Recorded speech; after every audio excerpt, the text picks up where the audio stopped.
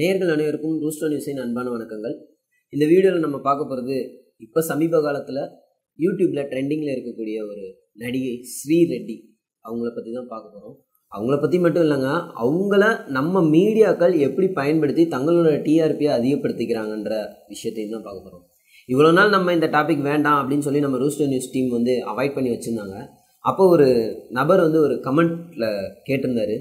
என்ன சார் இப்போது இப்போ யூடியூப்பை ஓப்பன் பண்ணாலே ஸ்ரீரெட்டி தான் டாப் ட்ரெண்டிங் நீங்கள் அவங்கள பற்றி நியூஸ் போடவே மாட்டீங்களே அப்படின்னு சொல்லிட்டு.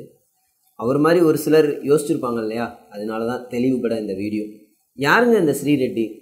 ஒரு மூணு மாதத்துக்கு முன்னாடி வரைக்கும் பார்த்தீங்கன்னா இது யாருன்னே தமிழ்நாட்டில் பரிச்சயமே கிடையாது. அந்தளவுக்கு யாருக்கும் தெரியலை.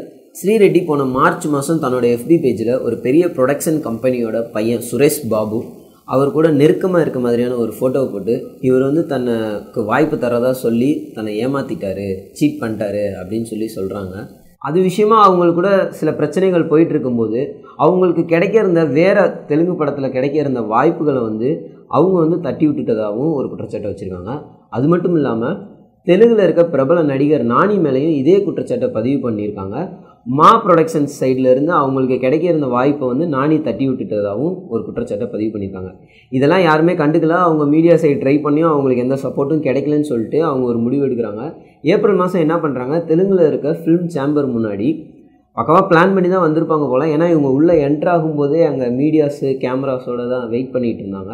இவங்க உள்ளே போனோடனே தன்னோட ட்ரெஸ்லாம் ரிமூவ் பண்ணிட்டு ஒரு அரை நிர்வாணமாக ஒரு போராட்டம் நடத்துகிறாங்க அதை பார்த்துட்டு இவங்களுக்கு சப்போர்ட் கிடைக்கும் அப்படின்னு நினச்சி அவங்க பண்ணாங்களா என்னன்னு தெரில அவங்க தரப்பில் ஏன் இப்படி பண்ணுறீங்கன்னு கேள்வி கேட்டதுக்கு பெண்களை வந்து ஒரு வாய்ப்பு தரதுக்காக படுக்கைக்கு பயன்படுத்திக்கிறாங்க. இதை நிப்பாட்டணும். அதுக்காக தான் நான் இந்த மாதிரி போராட்டம் பண்ணுறேன் அப்படின்னு சொல்லி ஒரு தகவலை கொடுக்குறாங்க.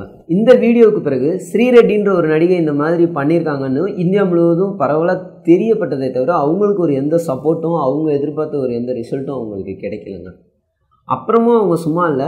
எஃபி பேஜில் கொஞ்சம் கொஞ்சமாக அடுத்து ஒவ்வொருத்தர் பேராக ரிலீஸ் பண்ண ஆரம்பித்தாங்க இந்த மாதிரி நிறைய பிரபலங்களோட பேரையும் சொன்னாங்க. இது வரைக்கும் தெலுங்கு திரையுலகத்தில் இருந்தவங்க பேரை சொல்லிட்டு வந்த ஸ்ரீரெட்டி ஜூலை மாதத்தில் பார்த்தீங்கன்னா ஏஆர் முருகதாஸ் ஸ்ரீகாந்த் நம்ம லாரன்ஸ் மாஸ்டர் அப்படின்னு சொல்லிட்டு நம்ம தமிழில் ரொம்ப பிரபலமாக இருக்கிறவங்களோட பேரை போட்டு இவங்க எல்லாருமே தன்னை பயன்படுத்திட்டு தனக்கு வாய்ப்பு தராமல் ஏமாற்றிட்டாங்க அப்படின்னு சொன்னாங்க.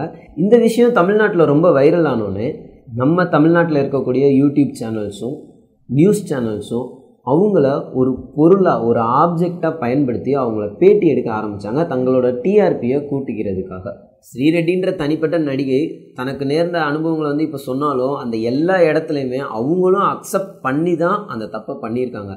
என்னதான் அவங்க சைடு நியாயம் இருந்தாலும் கூட அவங்கள நம்ம மீடியா எப்படி பயன்படுத்த ஆரம்பிச்சிட்டாங்கன்னா அவங்க கூட பேட்டி எடுக்கும்போது ஒரு மேடை நாகரிகம் இல்லாமல் இந்த வீடியோவை பொதுமக்கள் ஃபேமிலியோட பார்ப்பாங்களே குழந்தைகள்லாம் இருக்காங்களேன்ற ஒரு பொறுப்புணர்ச்சி இல்லாமல் ஒரு மேடையில் எப்படி கேள்வி கேட்கணுன்ற சிந்தனையே அறிவே இல்லாமல் ஆபாசமான கேள்விகளை கேட்டு அதுக்கு அவங்க சொன்ன பதில்கள் அதுக்கு மேலே ஆபாசமாக இருக்குங்க.